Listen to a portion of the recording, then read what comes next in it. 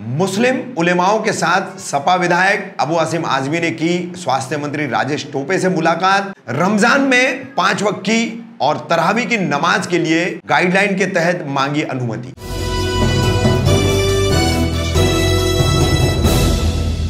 मैं रफीक कामदार, हिंदुस्तानी रिपोर्टर में आपका स्वागत है। समाजवादी पार्टी के महाराष्ट्र के प्रदेश अध्यक्ष तथा विधायक अबू असीम आजमी, उनके भिवंडी के पार्टी के सहयोगी विधायक रईस शेख, इन्होंने कई सामाजिक संस्थाएँ और मुस्लिम उलमाओं को लेकर के महाराष्ट्र राज्य के स्वास्थ्य मंत्री राजेश टोपे से मुलाकात की। मुलाकात के दो अहम मुद्दे थे।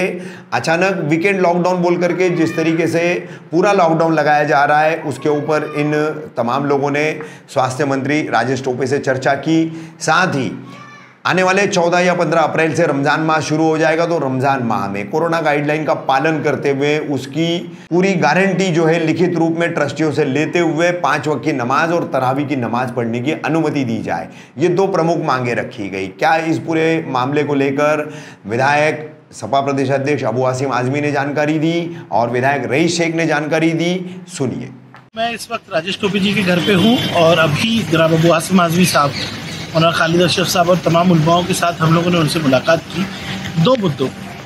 रमज़ान आ रहा है और हम चाहते हैं कि जो तरावी की इजाज़त है, हम लोगों को मिले। तो आठ बजे से सुबह आठ बजे तक का जो कर्फ्यू अनाउंस कर रहे हैं वो बिल्कुल ठीक नहीं है। आप कम से कम तरावी की नमाज़ तक जो है, बिल्कुल खुला रहना चाहिए और पाँचों वक्त नमाज़ प्रिकॉशन के साथ, पूरे एहतियात के साथ ट्रस्टीज से आप लिखवा के ले लीजिए। हम ज़िम्मेदारी लेते हैं, लेकिन पाँचों वक्त नमाज़ बाजमात होने के लिए पूरी परमिशन मिलना चाहिए। और एक जो मसला है, आज पुलिस ने जिस तरह का माहौल बनाया कि जैसे कि कर्फ्यू लग गया है, ज़बरदस्ती दुकानों को बंद कराया गया, हमने बिल्कुल कहा है कि हम इसके ख़िलाफ़ है।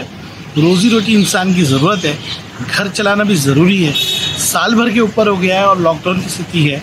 अगर आप इस तरह से फुल लॉकडाउन कर देंगे तो लोगों में इतना आक्रोश होगा कि आपके खिलाफ रस्ते पर उतरेंगे और ये सरकार के खिलाफ लोग जाएँगे रोज़ी रोटी, ऐसी रोज और स्कूल फ़ीस बिजली की बिल इस पर पहले जवाब दीजिए। और उसके बाद लॉकडाउन के ये हम बोल के आए।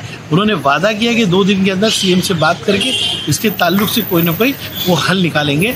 हम लगातार सारे मिनिस्टर से चीफ मिनिस्टर से सबसे बात कर रहे हैं कि ये बात सिर्फ़ हमारी नहीं है। लॉकडाउन की वजह से जो अभी होने वाली परिस्थिति है, उसके खिलाफ हम है, ये हम कहना चाहते हैं।